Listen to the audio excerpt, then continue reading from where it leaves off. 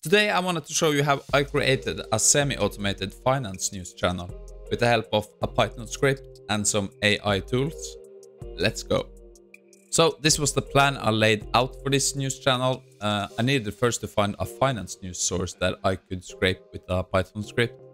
Of course I needed to write the Python script that I called the news fetcher.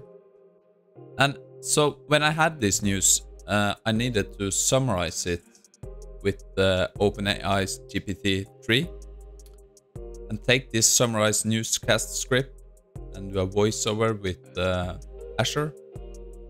Just collect some finance b-roll clips and music and put it all together in uh, Adobe Premiere Pro. Then upload the final video to the Finance News channel on YouTube. Okay, so I just wanted to start by showing you the Python script I wrote for this.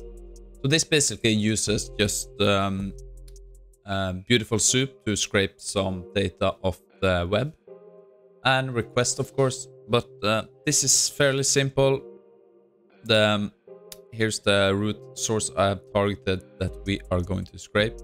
There's some more details into it, but I'm not gonna go through that now because you need to find some classes and stuff. But basically, when I run this now, this script is going over to this link that I'm gonna show you now to scrape out these 10 headlines with the description under here in Google News. And the search term is stocks. So when I run this script now, let's just run this. Okay. Then we get this file here called stock news. Basically, we can see that this is working because here are the headlines here and here and we get the the description and the URL. We are not going to use the URL today, but uh, it could be helpful sometimes. So this is basically, without going into any details, how this script works. And of course, when the finance uh, or a Google News site updates, we can always run it again to get new inputs. Okay, so now that we have all the data from the Python script, we just copy all of the text. Head over to OpenAI's GPT-3 playground. I'm just gonna remove some text here. Then I have this prompt that says write a newscast script from the text below with minimum 500 words as much. Just go for 300 words. Then we have this text. Just paste all the text from the script data in here. And all I have to do next is click submit. I'm probably gonna speed this up because it takes some time and um, because I also have to go over to Azure Speech Studio to create the voiceover. So I see you at the end of it. Okay, so what I did here was just I copied the script the OpenAI put out for me, pasted it into the Azure Speech Studio, just chose a voice with a newscast style. Then I just made some adjustment until I was happy. Then it was just export the file and use it for the voiceover. Okay, so we now have the voiceover. Just let's just have a quick uh, uh, look at it. Welcome to our stock market update. The stock market is actually going up in July, with stocks having a good month overall. Okay, so I think it sounds good. Now I am just going to get some b-roll clips and some music, and then it's gonna be editing.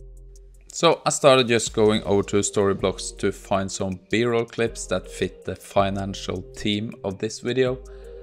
Then I just went to Adobe Rush, put all this together, just put the b-roll clips together, and uh, of course I had the voiceover.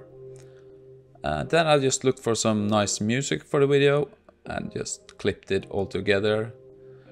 And that was about it. So the next thing I wanted to do was just to upload the video and that was just basic, same thing, have an easy thumbnail and just uploaded the video to my YouTube channel. Okay, so now I have completed the video. Now it's just time to watch the final result.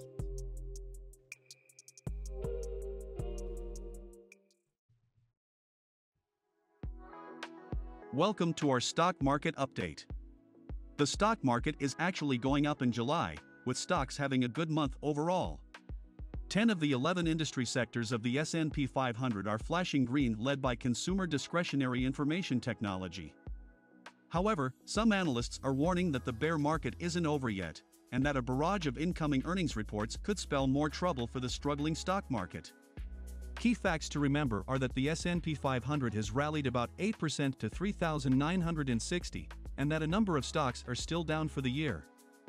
Some stocks to watch today include Wipro, IndusInd Bank, Adani, Enter, CAD, Sonata, and SBI. As of 7:25 a.m., the SGX Nifty futures quoted at 16,505 as against the spot Nifty close of 16,520 in trades yesterday. The reason behind a mysterious trading surge in stocks like Berkshire Hathaway has been revealed. Berkshire Hathaway's Class A shares are among the market's most expensive stocks priced above $400,000 apiece and therefore it was often one of the least traded stocks.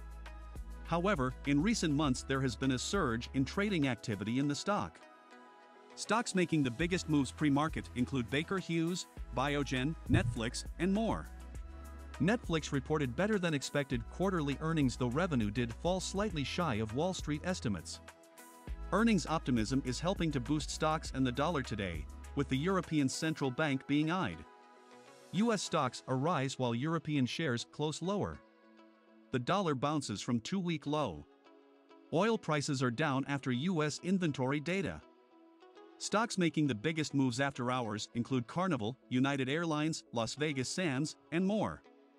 Carnival stock dropped 7% after the company reported a wider than expected loss for its latest quarter. That's all for our stock market update. Stay tuned for more updates throughout the day. Okay, so that was the final result. So if you enjoyed this video, I also think you should watch this video where I am creating a YouTube video from scratch only using inputs from the AI. Anyway, have a great day and I'll see you again soon.